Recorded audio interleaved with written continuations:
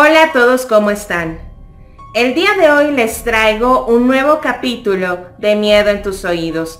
Vamos a hablar sobre el hombre que vivió con el cuerpo sin vida de su amada durante siete años. Sin nada más que decir, sean todos bienvenidos a este caso. El amante necrófilo.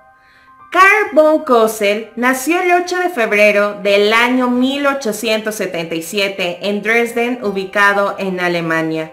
Él se desempeñaba como radiólogo y en el año 1920 contrajo matrimonio con Doris Schaefer y juntos procrearon dos hijas, Aisha y Crystal, con dos años de diferencia de edad. Bueno, dicha esta pequeña introducción, ya podemos dar paso con todos los actos sucedieron en este caso.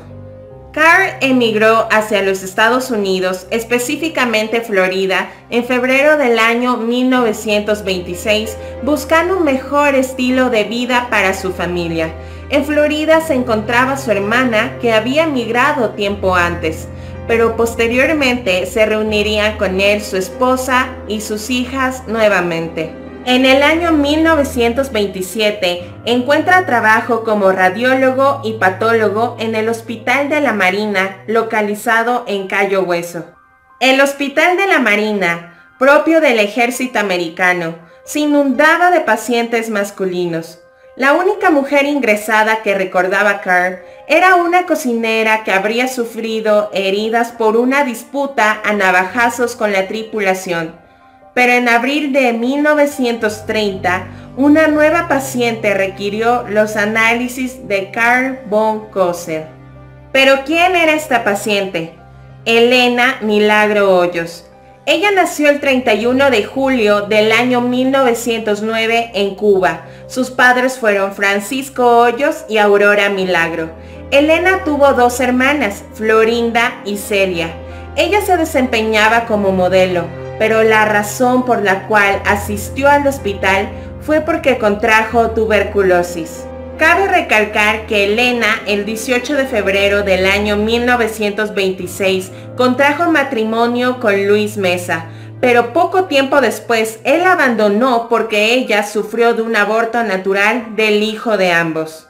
Como yo les mencioné anteriormente, Elena fue diagnosticada de tuberculosis, una enfermedad casi siempre fatal en aquellos años. En algunos casos, el padecimiento de la misma cobraba la vida de familias enteras. La primera vez que se vieron Carrie y Elena, él cimentó la imagen que le perseguiría el resto de su vida, porque a partir de ese momento, él construyó una obsesión. Convencido de que había soñado con ella durante décadas y que estaba destinada a ser su esposa, enfocó su existencia a cultivar el aprecio y estima de Elena. Con su conocimiento médico, Carr intentó curar a Elena con una variedad de tratamientos como medicinas, rayos X y equipos eléctricos. Además, le ofreció regalos como joyas y ropa, declarándole su amor profeso el cual no fue correspondido por parte de ella. El 25 de octubre del año 1931 fallece Elena Hoyos en casa de sus padres a la edad de 22 años. Carl vivió sus últimos días junto a su lecho, colmándole de atenciones y cuidados. El desenlace devastador dejó nuevamente solo y consternado a Carl, y al no poder desagraviar el desaire de su amada en vida, desencadenó su locura con la muerte. Carl se hizo cargo de los gastos funerarios y temiendo que las filtraciones de agua dañasen el sepulcro y el contenido del mismo, pidió la autorización a la familia Hoyos para la construcción de un mausoleo en el cementerio Cayo Hueso, el cual visitaba cada noche. Pero todo cambió en el año 1933 cuando Carl decidió exhumar en la oscuridad el cadáver de Elena para llevarlo a su nuevo hogar. Ese hogar era el fuselaje de la Condesa Line, un avión que llegó a reconstruir Carl a base de desechos y reliquias militares. Carl, horrorizado por el estado del cadáver, unió los huesos con alambre y ganchos para ropa y llenó las cuencas vacías con ojos de vidrio y la piel la reemplazó con tela de seda empapada en yeso. Construyó una máscara de su cara que le servía de molde en los mantenimientos. Trataba regularmente la piel con lociones, pociones y electroterapia.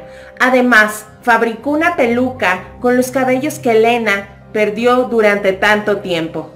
Finalmente la vistió con un traje de boda, un velo blanco de encaje, una diadema y unas alianzas. En octubre de 1940, la hermana de Elena, Florinda, escuchó rumores de que Carl dormía con el cuerpo de su hermana y al confrontarlo se dio cuenta de que eso era verdad. Florinda notificó a las autoridades y Carl fue detenido. Tuvo que afrontar un juicio bajo los cargos de destrucción maliciosa y lasciva de una tumba, además de extraer el cuerpo sin previa autorización. Pero el caso fue cerrado debido a que los estatutos de prescripción del delito habían expirado. Posteriormente, el cuerpo de Elena fue regresado al cementerio de Cayo Hueso, donde permanece en una sepultura incógnita para evitar futuras profanaciones. En el año 1944, Carl se muda de locación.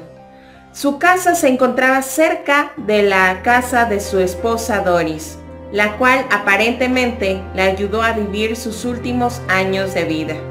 Pero Carl seguía pensando en Elena, hasta tal punto de crear una efigie de tamaño natural de ella, con la cual vivió hasta su muerte, que ocurrió el 3 de julio de 1952. El cuerpo de Carl fue encontrado en el piso de su domicilio tres semanas después de su muerte. Es así como damos por terminado este caso de Carl von Kossel. Sin antes les dejo una pregunta. ¿Ustedes qué creen? ¿Que fue amor u obsesión por parte de él hacia Elena? Muchas gracias por haber llegado hasta el final del video. Gracias por darle like. No te olvides de compartir y síguete suscribiendo para que sigamos siendo más personas en el canal. Nos vemos en el próximo video. Adiós.